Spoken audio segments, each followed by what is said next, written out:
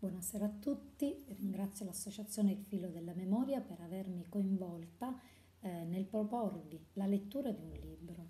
Io ho scelto Nati due volte di Giuseppe Pontigia, che è come una finestra aperta su una famiglia che vive la tragedia della malattia del figlio ed è stato scritto per farci riflettere sul significato di vita normale. Protagonista del racconto è un padre che è un giovane insegnante, che cerca di costruire un rapporto con il figlio Paolo, che è affetto da tetraparesi spastica.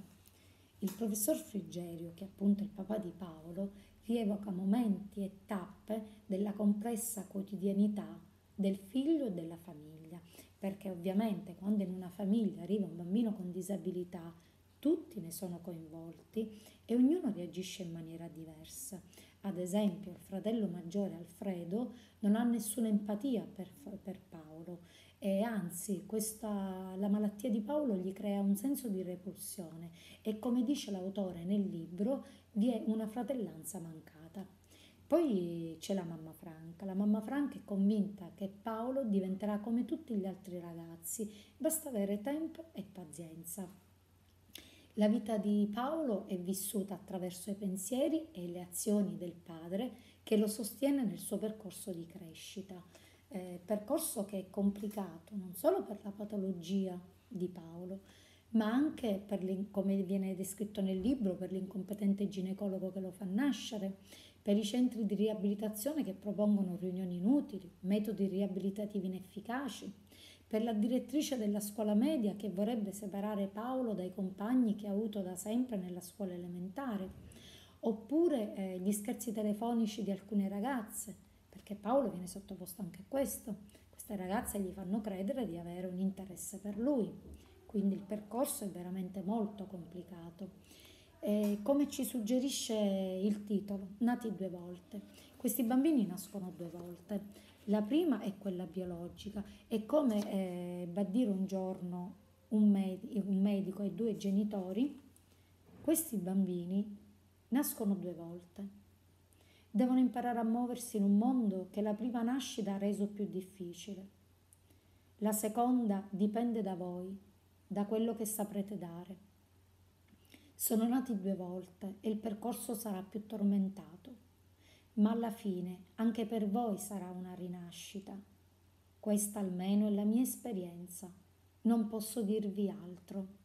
E infatti la parola chiave di questo libro è proprio la parola rinascita. E questo romanzo è importante non solo per la tematica trattata che è appunto la disabilità, ma anche dal punto di vista di un genitore che da un lato non nasconde le sue difficoltà, ma dall'altro lato invece accoglie tutti i momenti di gioia che la relazione col suo figlio sa regalargli. E a questo proposito, per concludere, vorrei leggervi l'ultima parte del libro, l'ultima pagina, che ha come titolo A distanza, proprio per farvi capire chi è Paolo per il suo papà. Mi capita di vederlo a distanza, nella via lunga e stretta dove abito cammina lungo i muri delle case per avere un appoggio se incespica. L'andatura è sgraziata e anziché seguire i comandi del corpo sembra sfruttarne il peso, precipitandolo talora in avanti con accelerazioni improvvise. Alcuni lo riconoscono e lo salutano.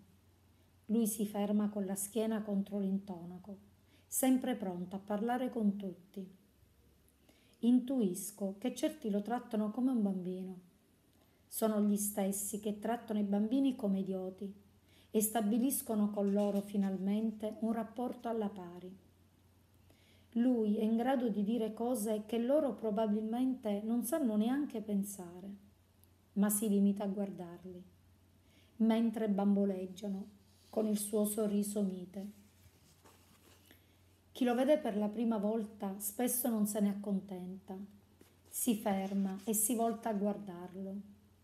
Lui se ne accorge e ho l'impressione che arranchi con una smorfia di sofferenza. Ma forse non è così. Lui bada solo a non cadere, è abituato a essere osservato. Sono io che non mi rassegno. Ho una smorfia di sofferenza ed è quello che ci unisce, a distanza.